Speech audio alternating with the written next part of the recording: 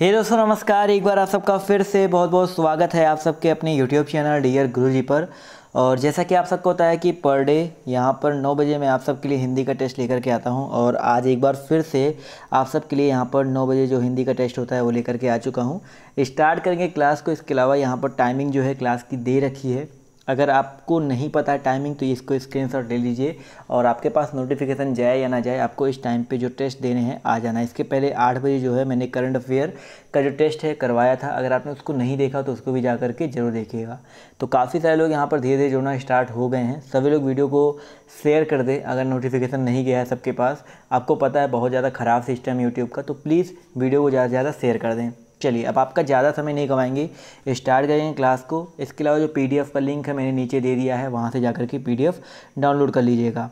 तो आज का जो पहला क्वेश्चन है, वो आपके सामने ये रहा कि कौन सी संज्ञा बहुवचन में नहीं है। सभी लोग जवाब दीजिएगा, बहुत ही अच्छा बहुत ही छोटा सा क्वेश्चन है, प्यारा सा क्वेश्चन है। और यहाँ पर बताना है, कौन सी जो संज्ञा है, वो बहुवचन में नहीं है। चलिए तो यहाँ पर जवाब देखिए, सबके आना शुरू हो गया। तो यहाँ पर देखिए, जीव जो है आपका बहुवचन हो जाएगा। घोंघे आपका बहुवचन हो जाएगा। लेकिन यहाँ पर देखिए, कछुए, कछुआ और कछुए, एक ही चीज़ होता है।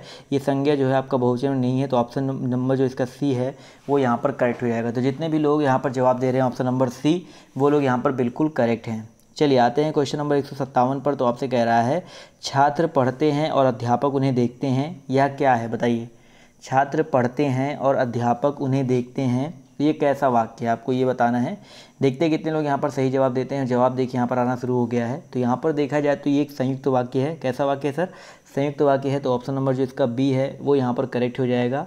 और क्योंकि यहाँ पर जो और शब्द है, वो आया हुआ है। तो जितने भी लोग बी जवाब दे रहे थे, वो लोग यहाँ पर करेक्ट है। बढ़ेंगे क्वेश्चन नंबर एक सौ अट्ठावन की ओर।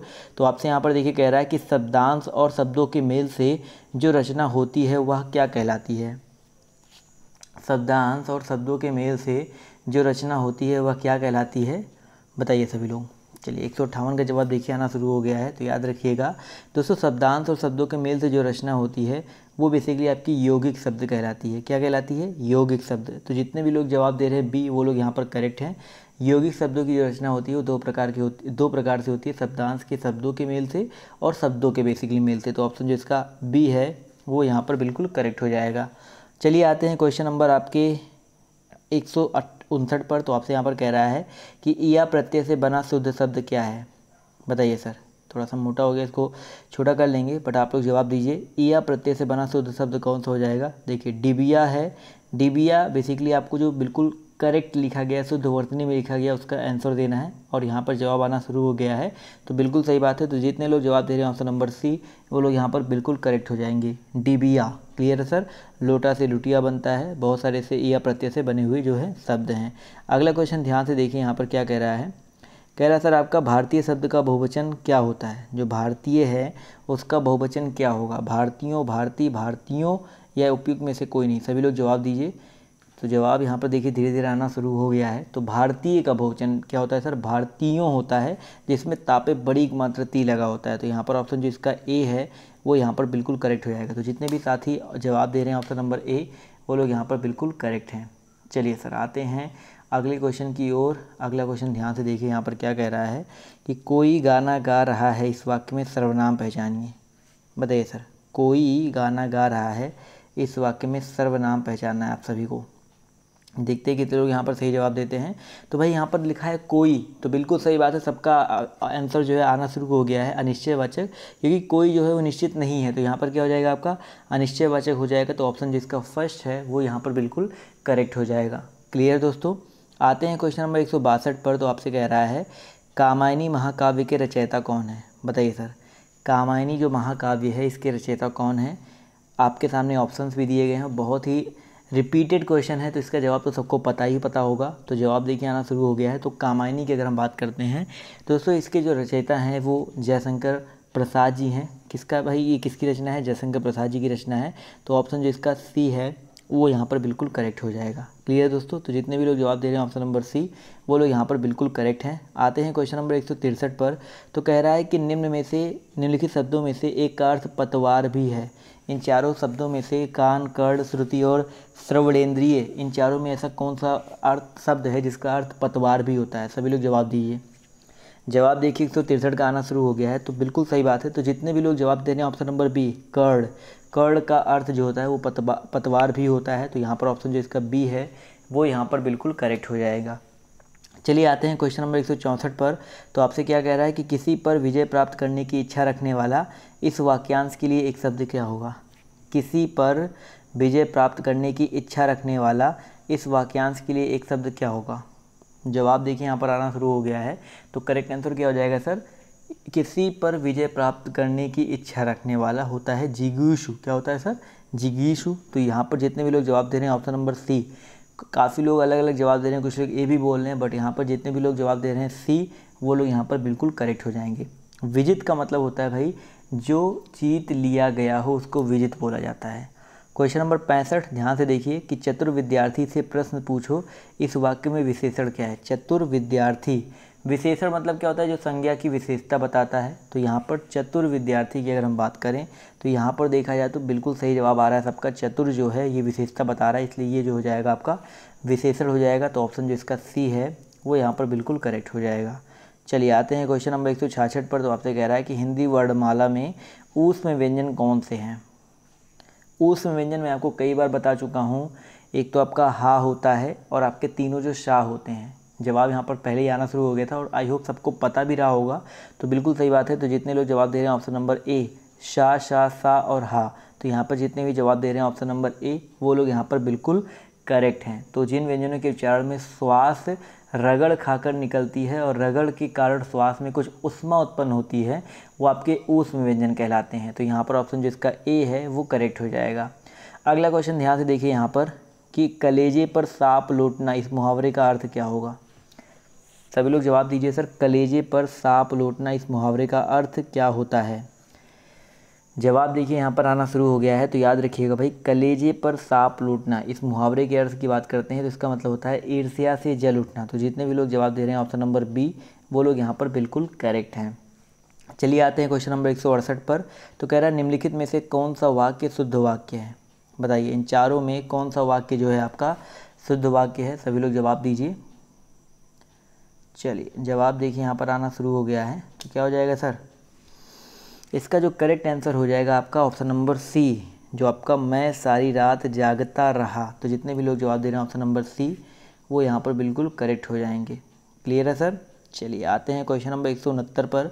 तो आपसे कह रहा है कि सप्तऋषि में समास कौन सा है? सप्तऋषि में कौन सा समास है? सभी लोग जवाब दीजिए। तो बिल्कुल सही बात यहाँ पर देखिए, क्वेश्चन देखते ही आंसर आपको समझ में आ जाना चाहिए, क्योंकि जब पहला जो शब्द है, पहला जो शब्द है, पहला पद जो है, अगर वो आपका संख्यावाचक विशेषण हो जाता है तो वहाँ पर आपका हमेशा क्या होता है द्विग समास होता है तो ऑप्शन जो इसका डी है, वो यहाँ पर बिल्कुल करेक्ट हो जाएगा। क्लियर है सर चलिए आते हैं क्वेश्चन नंबर एक सौ सत्तर पर तो आपसे यहाँ पर कह रहा है कि आग का पर्यायवाची शब्द नहीं है। बताइए सर यहाँ पर कौन सा ऐसा शब्द है जो आग का पर्यायवाची शब्द नहीं है? देखते हैं कितने लोग यहाँ पर जवाब देते हैं। चलिए क्वेश्चन नंबर देखिए 170 में देखा जाए तो अनल पावक व्योम कृषाणु। तो आप यहाँ पर देख सकते हो जो कृषाणु है, वो भी है, पावक भी है, अनल भी है। लेकिन यहाँ पर देखा जाए जो आपका व्योम दिया गया है, व्योम जो है, ये आपका आकाश का पर्यायवाची होता है, ये आपका आग का पर्यायवाची नहीं होता है। इसलिए यहाँ पर दोस्तों आपका ऑप्शन जो इसका सी है, वो यहाँ पर बिल्कुल करेक्ट हो जाएगा। आते हैं क्वेश्चन नंबर एक सौ इकहत्तर पर तो आपसे यहाँ पर देखिए ध्यान से क्या कह रहा है कि निम्नलिखित वाक्यों में से किसमें प्रेरार्थक क्रिया का प्रयोग नहीं है? एक सौ इकहत्तर नंबर क्वेश्चन कह रहा है कि निम्नलिखित वाक्यों में से किसमें प्रेरणार्थक क्रिया का प्रयोग नहीं है? बताइए सर। जवाब देखिए यहाँ पर एक सौ इकहत्तर का दीजिए, बहुत ही प्यारा क्वेश्चन है। तो यहाँ पर अगर देखा जाए तो पिता उसे पढ़ाते हैं। देखिए, भाई प्रेरणार्थक क्रिया क्या होता है? जिसमें प्रेरणा, पढ़ाते हैं, यानी कि यहाँ पर प्रेरणार्थक क्रिया है। पढ़ना अलग चीज़ है, पढ़ाना अलग चीज़ है। तो यहाँ पर अर्थ क्रिया है। राम नहीं पढ़ता तो यहाँ पर देखा जाए ऑप्शन नंबर बी जितने भी लोग जवाब दे रहे हैं ऑप्शन नंबर बी वो करेक्ट है। यहाँ पर भाई प्रेरार्थक क्रिया का प्रयोग नहीं हुआ है। अध्यापक परिश्रम कराते हैं, पढ़वाते हैं तो ये सब प्रेरार्थक क्रिया है बट यहाँ पर बी में ऐसा कुछ नहीं है। तो जितने भी लोग जवाब दे रहे थे बी वो लोग यहाँ पर करेक्ट हैं। अगला क्वेश्चन कह रहा है भाई, उच्छिष्ट में इसका शुद्ध संधि विच्छेद क्या होगा? बताइए। संधि विच्छेद सबको पता होना चाहिए, एक से दो क्वेश्चन ज़रूर आता है। देखते हैं कितने लोग इसका जवाब देते हैं तो इसका जवाब क्या हो जाएगा, सर? कुछ लोग जवाब दे रहे हैं बी ज़्यादा लोग के जवाब ऑप्शन बी आ रहे हैं। तो बिल्कुल सही बात है, सर। तो यहाँ पर जो ऑप्शन बी है करेक्ट हो जाएगा। उत प्लस शिष्ट क्लियर है? तो उत प्लस शिष्ट ये मिलके होता है आपका उच्छिष्ट। और यहाँ पर संधि की बात करते हैं तो आपका हलंत लग गया। तो हमेशा क्या होता है, आपका व्यंजन संधि होगा। आते हैं क्वेश्चन नंबर तिहत्तर पर। तो आपसे कह रहा है कि अधोलिखित में शुद्ध वर्तनी वाला शब्द कौन सा है? इन चारों ऑप्शनों में से शुद्ध वर्तनी कौन सा है? रचयिता अनुग्रहित आहार और सृष्टा। जवाब देखिए, यहाँ पर आना शुरू हो गया है। तो रचयिता देखा जाए तो बिल्कुल सही बात है। तो जितने भी लोग जवाब दे रहे हैं, ऑप्शन नंबर ए, रचयिता, वो लोग यहाँ पर बिल्कुल करेक्ट हैं। क्यों करेक्ट है, सर? क्योंकि रचयिता यहाँ पर बिल्कुल सही लिखा हुआ है। अनुग्रहित में क्या होता है? अनुग्रहित है ना? तो यहाँ पर अनुग्रहित में ग्रह जो है, ये ग्रह पे ये वाला लगता है, ये गलत है। सृष्टा की अगर हम बात करते हैं तो सृष्टा में जो ये लगा है, इसमें थोड़ा सा दोनों में देखिए यहाँ पर ये वाला सृष्टा लगेगा। इसके अलावा यहाँ पर आहार में, आहार नहीं होता, आहार होता है। क्या होता है? आहार आहार होता है। तो चारों ऑप्शन आपके क्लियर हो गए। आते हैं, चलिए अगले क्वेश्चन की तरफ़ आते हैं। तो अगला क्वेश्चन आपका देखिए, यहाँ पर क्या कह रहा है कि अधोलिखित में कौन सा युग्म विशेषण नहीं है? बताइए सर। छोटा, बड़ा, दो, तीन, हरा, पीला और राम, लक्ष्मण। तो ये तो बहुत ही नॉर्मल सा क्वेश्चन है। देख के जवाब आप लोग दे पा रहे होंगे कि जो राम, लक्ष्मण है, ये आपका विशेषण नहीं विशेष है या संज्ञा है। तो ऑप्शन जो इसका डी है वो यहाँ पर बिल्कुल करेक्ट हो जाएँगे। तो यहाँ पर जितने भी लोग जवाब दे रहे हैं ऑप्शन नंबर डी वो लोग यहाँ पर बिल्कुल करेक्ट हैं। आते हैं क्वेश्चन नंबर 175 पर। कह रहा है कि अधोलिखित में कौन सा शब्द तत्सम नहीं है? बताइए, यहाँ पर कौन सा शब्द जो है आपका तत्सम नहीं है? जितने भी लोग यहाँ पर जुड़े हुए हैं, सभी लोग जवाब देने की कोशिश कीजिएँगे। तो 175 का जवाब देखिए, यहाँ पर आना शुरू हो गया है। तो यहाँ पर अगर देखा जाए 175 में तो हाथ, जो आपका हाथ है ये एक तद्भव शब्द है। इसका तत्सम क्या होता है? हस्त होता है। याद रखिएगा, इसका तत्सम हस्त होता है और हाथ जो है आपका एक तद्भव शब्द है। क्लियर है सर चलिए, आते हैं अगले क्वेश्चन की तरफ़। तो अगला क्वेश्चन ध्यान से देखिए यहाँ पर क्या कह रहा है कि प्रतिकूल का विलोम शब्द क्या हो जाएगा? सभी लोग जवाब दीजिए एक सौ छिहत्तर का। प्रतिकूल का विलोम शब्द क्या हो जाएगा? देखिए पीडीएफ मैंने नीचे डिस्क्रिप्शन बॉक्स में दे दिया है तो वहाँ से डाउनलोड कर लीजिएगा और जितने भी लोग यहाँ पर जुड़े हैं, प्लीज़ वीडियो को शेयर कर दें, ज़्यादा से ज़्यादा अच्छा रहेगा। तो एक सौ छिहत्तर में देखा जाए तो प्रतिकूल का विलोम आपका अनुकूल होता है तो जितने भी लोग जवाब दे रहे हैं ऑप्शन नंबर सी, वो लोग यहाँ पर बिल्कुल करेक्ट हो जाएँगे। चलिए, आते हैं अगले क्वेश्चन पर। तो अगला क्वेश्चन आपका देखिए, यहाँ पर क्या कह रहा है कि एफिडेविट का अनुवाद क्या होगा? एफिडेविट का हिंदी अनुवाद क्या होगा? बताइए सर। एफिडेविट का हिंदी अनुवाद क्या होगा? तो जवाब यहाँ पर आना शुरू हो गया है तो बिल्कुल सही बात है सर, शपथ पत्र। तो जितने भी लोग जवाब दे रहे हैं, ऑप्शन नंबर ए, वो लोग यहाँ पर करेक्ट हो जाएँगे। प्रस्ताव यानी कि रिसोल्यूशन होता है एडजस्टमेंट आपका समायोजन होता है, और विवरण मतलब होता है आपका डिस्क्रिप्शन क्लियर है? विवरण, यहाँ पर नीचे जो विवरण बक्सा है ना, नीचे उसमें आपको पीडीएफ का लिंक मिल जाएगा। आएँगे क्वेश्चन नंबर अठहत्तर पर तो आपसे यहाँ पर कह रहा है कि राम खाता है, इसमें वाच्य का कौन सा रूप है? राम आम खाता है। बताइए सर। राम आम खाता है, इसमें वाच्य का कौन सा रूप है? तो जवाब देखिए आना शुरू हो गया तो कृतवाच्य का जवाब यहाँ पर आंसर आ रहा है। तो बिल्कुल सही बात है। कर्ता की प्रधानता है तो यहाँ पर कृतवाच्य हो जाएगा। तो ये तो नॉर्मल सा क्वेश्चन था।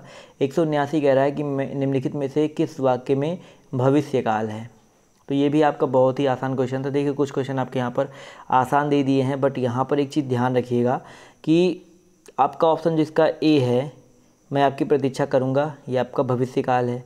अगर बी ऑप्शन की बात करते हैं तो बी ऑप्शन पेड़ काट लिया और पढ़ने वाला था तो ये आपका भूतकाल हो जाएगा। और मैं आपका आभारी हूँ, ये आपका वर्तमान काल हो जाएगा। ये चीज़ याद रखिएगा। आते हैं अगले क्वेश्चन पर तो यहाँ पर 180 नंबर क्वेश्चन में कह रहा है कि कनक मतलब धतूरा, और कनक मतलब क्या हो सकता है? मतलब एक शब्द दिया गया है, उसका दूसरा अर्थ बताना है। तो एक कनक का मतलब होता है धतूरा तो एक कनक का मतलब और क्या होता है? तो कनक कनक ते सौगनी मादकता अधिकाय या खाए बोराए जग, वा खाए बोरा, वा पाए बोराए। यानी कि एक का मतलब धतूरा होता है तो एक मतलब क्या होता है? सोना भी होता है। तो जितने भी लोग जवाब दे रहे हैं ऑप्शन नंबर डी, वो लोग यहाँ पर बिल्कुल करेक्ट हो जाएँगे। अगला क्वेश्चन यहाँ पर देखिए कह रहा है कि निम्न में से आदि व्याधि शब्द युग में जो आधि है, उसका अर्थ क्या है बताइए? निम्न में से कौन सा आधि व्याधि शब्द युग में आधि का अर्थ हो जाएगा? एक सौ इक्यासी का जवाब दीजिए सभी लोग। और जवाब देखिए, यहाँ पर आना शुरू हो गया सभी का। तो क्या हो जाएगा सर? अगर हम आधि और व्याधि की बात करते हैं तो यहाँ पर मानसिक पीड़ा को आधि और शारीरिक पीड़ा को व्याधि बोला जाता है। तो व्याध आधि का मतलब क्या हो जाएगा? मानसिक पीड़ा। तो यहाँ पर ऑप्शन जो इसका ए है, वो यहाँ पर बिल्कुल करेक्ट हो जाएगा। चलिए, आते हैं क्वेश्चन नंबर एक सौ बयासी पर। तो आपसे कह रहा है कि सेवा सदन किसकी रचना है? जो सेवा सदन है, वो बताइए किसकी रचना है? जवाब दीजिए सभी लोग। जवाब देखिए, यहाँ पर आना शुरू हो गया है। तो अगर हम बात करते हैं दोस्तों, सेवा सदन के बारे में तो बिल्कुल सही बात है सर। गोदान, गवन, सेवा सदन, ये सारी मुंशी प्रेमचंद्र जी के उपन्यास है। तो यहाँ पर ऑप्शन जो इसका सी है प्रेमचंद्र वो यहाँ पर बिल्कुल करेक्ट हो जाएगा। चलिए आते हैं एक सौ तिरासी पर। तो आपसे कह रहा है कि हिंदी के शब्दों का लिंग निर्धारण किसके आधार पर होता है? हिंदी के शब्दों का लिंग निर्धारण जो होता है, वो किसके आधार पर होता है? चलिए, जवाब दीजिए सभी लोग और जवाब देखिए, यहाँ पर आना शुरू हो गया है। तो अगर हम बात करते हैं हिंदी के शब्दों का जो लिंग निर्धारण है, वो प्रमुख रूप से संज्ञा के आधार पर होता है। संज्ञा को देख करके हम बताते हैं कि वो क्या है। राम है तो पुरुष लिंग और कोई है तो स्त्रीलिंग ऐसे हम लोग संज्ञा का निर्धारण करते हैं। चलिए आते हैं क्वेश्चन नंबर एक सौ चौरासी पर। तो आपसे कह रहा है कि आदिकाल के लिए वीर गाथा काल नाम किसने प्रस्तावित किया था? बताइए सर। आदिकाल के लिए वीर गाथा काल नाम जो है किसने प्रस्तावित किया था? जवाब दीजिए सभी लोग। और जवाब देखिए, यहाँ पर आना शुरू हो गया सभी का तो याद रखिएगा आदिकाल के लिए वीर गाथा काल जो नाम है, इसको डॉक्टर रामचंद्र देखिए, आदिकाल के लिए वीर गाथा काल आचार्य रामचंद्र शुक्ल ने किया था और डॉक्टर राम कुमार वर्मा जो है यहाँ पर, उन्होंने चारण काल या संधि काल ये दिया था। तो यहाँ पर लेकिन आदिकाल के लिए वीर गाथा काल दिया गया तो यहाँ पर आचार्य रामचंद्र शुक्ल होगा। तो जितने भी लोग जवाब दे रहे हैं, ऑप्शन नंबर सी, वो लोग यहाँ पर बिल्कुल करेक्ट हैं। अगला क्वेश्चन देखिए, ध्यान से यहाँ पर कह रहा है कि पेड़ से बंदर कूदा, इस वाक्य में कौन सा कारक है? पेड़ से बंदर कूदा, इस वाक्य में कौन सा कारक है? चलिए, फटाफट सभी लोग जवाब दीजिए। एक सौ पचासी, जवाब देखिए, यहाँ पर आना शुरू हो गया है। तो अगर हम बात करते हैं, पेड़ से बंदर कूदा तो यहाँ पर इसका जो करेक्ट आंसर हो जाएगा, आपका अलग हो रहा है ना अपादान कारक हो जाएगा। तो जितने भी लोग जवाब दे रहे हैं ऑप्शन नंबर ए वो लोग यहाँ पर बिल्कुल करेक्ट हो जाएँगे। चलिए। आते हैं अगले क्वेश्चन पर। तो अगला क्वेश्चन देखिए आपसे यहाँ पर क्या आ रहा है। आधा डा जो है, इसका उच्चार स्थान क्या होता है? बताइए सर। क्वेश्चन नंबर आपका एक सौ छियासी कह रहा है, आधा डा। इसका उच्चार स्थान क्या होता है? जवाब देखिए, आना शुरू हो गया है। तो बेसिकली ये टा वर्ग का है और टा वर्ग जो होता है, वो मूर्धन्य वाले होते हैं। तो यहाँ पर जितने भी लोग जवाब दे रहे हैं ऑप्शन नंबर सी वो लोग यहाँ पर बिल्कुल करेक्ट हैं। क्या हो जाएगा सर? मूर्धन्य। चलिए आते हैं अगले क्वेश्चन की तरफ़। तो अगला क्वेश्चन कह रहा है आपसे, यहाँ पर हिंदी भाषा में कितनी बोलियाँ हैं? काफ़ी कंट्रोवर्शियल क्वेश्चन है। कई बार कुछ लोग आठ बोलते हैं, कुछ लोग कहीं पाँच बोलाते हैं। देखिए विख्यात बोलियाँ अलग हैं, उप बोलियाँ अलग उप भाषाएँ अलग है। तो यहाँ पर अगर हम हिंदी भाषा में बोलियों की बात करते हैं दोस्तों तो हिंदी भाषा में याद रखिएगा। मैं आपको एग्जैक्ट आज बता रहा हूँ, इसको हमेशा याद रखिएगा, जो आयोग भी मानता है, अट्ठारह बोलियाँ हैं। और इनको पाँच उपभाषाओं में बांटा गया है। पश्चिमी हिंदी, पूर्वी हिंदी, बिहारी राजस्थानी और पहाड़ी। तो ये पाँच हिंदी अलग अलग में बांटा गया है। पश्चिमी में आपकी ब्रज, खड़ी, बांगरू, बुंदेली, कन्नौजी, पूर्व में आपकी अवधि, भगेली, छत्तीसगढ़ी, बिहारी में मैथिली, मगही, भोजपुरी, राजस्थानी में मेवाती, मारवाड़ी, ऐसे होती हैं। तो अगर मुख्य रूप से पूछा जाए तो आपकी टोटल बोलियाँ आपकी अठारह हैं। इनको पाँच अलग अलग उपभाषाओं में बांटा गया है। तो ये दो चीज़ याद रखिएगा। तो यहाँ पर ऑप्शन जो इसका सी है अट्ठारह वो यहाँ पर बिल्कुल करेक्ट हो जाएगा। क्लियर है? चलिए, आते हैं अगले क्वेश्चन पर। तो अगला क्वेश्चन आपका कह रहा है कि ध्वनियाँ कितने प्रकार की होती है? बताइए सर, सभी लोग जवाब दीजिए। ध्वनियाँ कितने प्रकार की होती हैं? एक सौ अट्ठासी का जवाब देखिए, आना शुरू हो गया तो याद रखिएगा। सबको पता होगा कि दो प्रकार की होती हैं आपकी, स्वर और व्यंजन। तो यहाँ पर ऑप्शन जो इसका ए है, वो बिल्कुल करेक्ट हो जाएगा। क्लियर है सर चलिए, आते हैं क्वेश्चन नंबर एक सौ नवासी की तरफ़। तो आपसे कह रहा है कि जिस सूचना को राजपत्रों में प्रकाशित कराया जाता है, उसे क्या कहा जाता है? जिस सूचना को राजपत्रों में प्रकाशित कराया जाता है, उसे क्या कहा जाता है?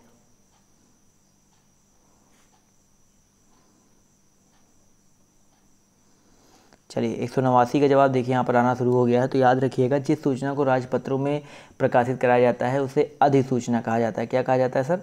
अधिसूचना तो यहाँ पर ऑप्शन नंबर जो इसका बी है, वो यहाँ पर बिल्कुल करेक्ट हो जाएगा। चलिए, आते हैं क्वेश्चन नंबर एक सौ नब्बे पर। तो आपसे कह रहा है कि कौन सी भाषा भारतीय संविधान की आठवीं अनुसूची में नहीं है? बताइए। कौन सी भाषा भारतीय संविधान की आठवीं अनुसूची में नहीं है? तो यहाँ पर याद रखिएगा, जो भारतीय संविधान की जो यहाँ पर देखा जाए तो आठवीं अनुसूची में टोटल बाईस भाषाएँ हैं, जिसमें से आपका जो हिंदी है, संस्कृत है, कन्नड़ है, इनको दर्जा प्राप्त है। लेकिन यहाँ पर अगर देखा जाए जो भोजपुरी है, वो बेसिकली आपका नहीं है तो ऑप्शन जो इसका डी है, वो यहाँ पर बिल्कुल करेक्ट हो जाएगा। क्लियर है सर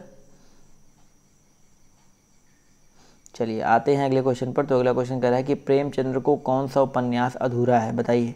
प्रेमचंद्र जी का ऐसा कौन सा उपन्यास है जो आपका अधूरा है? सभी लोग जवाब दीजिए क्वेश्चन नंबर एक सौ इक्यानवे का। तो यहाँ पर देखते हैं कितने लोग सही जवाब देते हैं। तो ये कई बार आपको क्वेश्चन करवा भी चुका हूँ और जवाब आना शुरू हो गया है। तो जितने भी लोग जवाब दे रहे हैं, ऑप्शन नंबर बी, मंगलसूत्र, वो लोग यहाँ पर बिल्कुल करेक्ट हो जाएँगे। क्लियर है? तो मंगलसूत्र जो है, वो यहाँ पर बिल्कुल करेक्ट हो जाएगा। आते हैं एक सौ बानवे पर। तो अनुस्मारक का अंग्रेज़ी अनुवाद क्या है? अनुस्मारक जवाब देखिए यहाँ पर आना शुरू हो गया तो अनुस्मारक की बात करते हैं दोस्तों। तो अनुस्मारक का जो अंग्रेज़ी अनुवाद है, वो आपका होता है रिमाइंडर यानी कि दोबारा याद करना रिमाइंड करना। तो यहाँ पर जितने भी लोग जवाब दे रहे हैं ऑप्शन नंबर सी वो लोग यहाँ पर बिल्कुल करेक्ट हैं। क्लियर है दोस्तों? चलिए, आते हैं क्वेश्चन नंबर एक सौ तिरानवे पर। तो कौन सा जो शब्द है, वो आपका देशज शब्द है? आपको ये बताना है। यहाँ पर कौन सा जो शब्द है, आपका देशज शब्द है? एक सौ तिरानवे। जवाब देखिए, यहाँ पर आना शुरू हो गया है तो वन नाइन्टी थ्री की अगर हम बात करते हैं तो यहाँ पर देखिए जो काम है, काम जो है आपका वो एक तद्भव शब्द है। तो यहाँ पर देशज पूछा गया तद्भव नहीं पूछा गया है। तो देशज की अगर हम बात करते हैं तो यहाँ पर हो जाएगा आपका, कमर तो आपका फ़ारसी हो जाएगा, कागज़ जो है आपका क्या हो जाएगा, अरबी हो जाएगा। तो जी हाँ जितने भी लोग जवाब दे रहे हैं, ऑप्शन नंबर डी, झाड़ू, वो लोग यहाँ पर करेक्ट हो जाएँगे। झाड़ू जो है आपका एक देशज शब्द हो जाएगा। आते हैं क्वेश्चन नंबर एक सौ चौरानवे पर तो क्या कह रहा है कि पक्ष के आधार पर क्रिया के कितने प्रकार हैं? पक्ष के आधार पर क्रिया के कितने प्रकार हैं? बताइए सर। क्वेश्चन नंबर आपका जो भी है। क्वेश्चन नंबर एक सौ चौरानवे का जवाब आना शुरू हो गया है। तो अभी कल बताया था दो प्रकार होते हैं, अपूर्ण पक्ष और पूर्ण पक्ष। तो यहाँ पर जितने भी लोग जवाब दे रहे हैं, ऑप्शन नंबर ए, वो लोग यहाँ पर बिल्कुल करेक्ट हैं। चलिए सर, आते हैं अगले क्वेश्चन की तरफ़। तो अगला क्वेश्चन ध्यान देखिए यहाँ पर क्या कह रहा है कि भाई, हिंदी व्याकरण में सर्वाधिक रूप से प्रयोग होने वाला विराम चिन्ह कौन सा है? हिंदी व्याकरण में सर्वाधिक रूप से प्रयोग होने वाला विराम चिन्ह कौन सा है? सबसे ज़्यादा जो विराम चिन्ह प्रयोग होता है, वो कॉमा होता है। कौन सा सर? कॉमा, जिसको हम लोग बोलते हैं अल्प विराम तो जितने भी लोग बोल रहे हैं अल्प विराम वो लोग यहाँ पर बिल्कुल करेक्ट हैं। क्लियर है साथियों। चलिए, आते हैं क्वेश्चन नंबर एक सौ छियानवे की तरफ़। तो आपसे कह रहा है कि he hardly works he hardly works इसका हिंदी अनुवाद क्या होगा? हार्डे मतलब क्या होता है, ये जान लो। हार्डे मतलब होता है बेसिकली ऐसा समझ लो, एक आपका ये एक फ्रेज है इसका मतलब होता है, वह काम चोर है। ही हार्डे वर्क्स इसका मतलब होता है, वह काम चोर है। क्लियर है? ही हार्डली वर्क्स ऐसा मान सकते हो। हार्डली अगर होता तो ज़्यादा अच्छा रहता। ही हार्डली वर्क्स यानी कि वो बहुत मुश्किल से काम करता है, यानी कि वो काम चोर है। क्वेश्चन नंबर एक सौ सत्तानवे कह रहा है कि ऊँट के मुँह में जीरा, इसका हिंदी अनुवाद क्या होगा? एक सौ सत्तानवे का सभी लोग जवाब दीजिए। ऊँट के मुँह में जीरा, इसका हिंदी अनुवाद क्या होगा? बताइए। जवाब देखिए यहाँ पर आना शुरू हो गया है तो इसका मतलब होता है अ ड्रॉप इन ओसन यानी कि ऑप्शन नंबर जो इसका ए है, वो करप्ट हो जाएगा। यानी कि समुद्र में एक बूंद पानी जो होता है, वही होता है ऊँट के मुँह में जीरा। तो ऑप्शन जिसका ए है, वो यहाँ पर बिल्कुल करेक्ट होना चाहिए। चलिए आते हैं क्वेश्चन नंबर एक सौ अट्ठानवे पर। तो कह रहा है कि क्रिया विशेषण के कितने भेद हैं? बताइए सभी लोग। क्रिया विशेषण के कितने भेद हैं? एक सौ अट्ठानवे का जवाब देखिए, यहाँ पर आना शुरू हो गया है। तो याद रखिएगा क्रिया विशेषण के टोटल दो भेद होते हैं रीतिवाचक और परिमाणवाचक। कितने होते हैं सर? रीतिवाचक परिमाणवाचक तो ऑप्शन जो इसका दो है ए है वो यहाँ पर बिल्कुल करेक्ट हो जाएगा। चलिए एक सौ निन्यानवे नंबर क्वेश्चन कह रहा है कि जब किसी बात पर उहापोह की स्थिति बनी हुई हो और निश्चय ना हो पा रहा हो तब निम्नलिखित शब्द होगा। जब किसी बात पर उहापोह की स्थिति बनी हुई हो और निश्चय ना हो पा रहा हो तो, तो निम्नलिखित शब्द होगा। एक सौ निन्यानवे का करेक्ट आंसर क्या हो जाएगा, सर? चलिए, एक सौ निन्यानवे का करेक्ट आंसर क्या हो जाएगा, सर? भाई, निश्चय ना हो पा रहा हो तो वहाँ पर संदेह पैदा होता है तो यहाँ पर जितने भी लोग जवाब दे रहे हैं ऑप्शन नंबर बी, वो लोग यहाँ पर बिल्कुल करेक्ट हो जाएँगे। चलिए, दो सौ नंबर क्वेश्चन कह रहा है कि सदा एक वचन में प्रयोग होने वाला शब्द क्या है?